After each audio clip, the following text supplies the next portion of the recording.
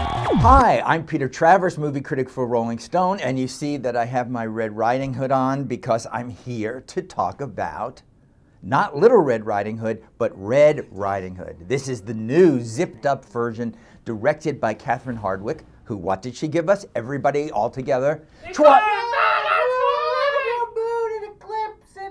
No, just Twilight. After she did Twilight, she never did another Twilight movie, so she didn't do any of that crap. But you know what her revenge was? She took the Little Red Riding Hood story, made it Red Riding Hood, cast Amanda Seyfried, and made Twilight all over again. That's what she did. Yay! Yay! Yay! Everybody knows that that grim fairy tale Red Riding Hood and the grandmother and the wolf was all a giant phallic symbol story anyway. Don't eat me. Yes, Bieber. Yeah, you know, you know, I know it. Bieber would have been great in this movie. I don't know as what, but when they do Hansel and Gretel, they could do it. Anyway, Catherine Hardwicke takes Amanda Seyfried, puts her in her red cape, and has her in the snow all the time. And then what happens? She's torn between two guys. Instead of Team Edward and Team Jacob, we have Team Peter. It's not me, but it's, it's Team Peter. And he is the guy she's loved since childhood. And he is played by a guy, an actor named Shiloh Fernandez. Yes, I don't make that up.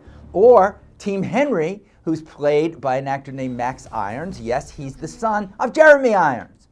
And they don't sprout vampire teeth, but Red Riding Hood is suspicious that one of them may be the wolf. Who does what? Sprouts. Yes, he's a werewolf. He's a werewolf. So stupid. So stupid. It is incredibly stupid. It is an awful, awful movie. Ponderous, dull in the extreme. You just can't believe how bad it is. Scumbucket, come and take my cape. I want it. I want you to take it. I want you to unwrap it from me, and I want it to go straight in that bucket.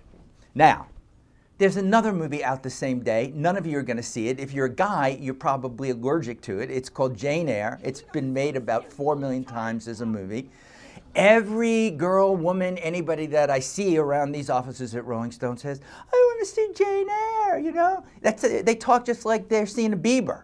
But the guy that directed this, Cary Fukunaga, Japanese father, uh, Swedish mother, he actually put some life into this. And the star of this movie, playing Jane Eyre, is Mia Wasikowska. How do we know her? obscure.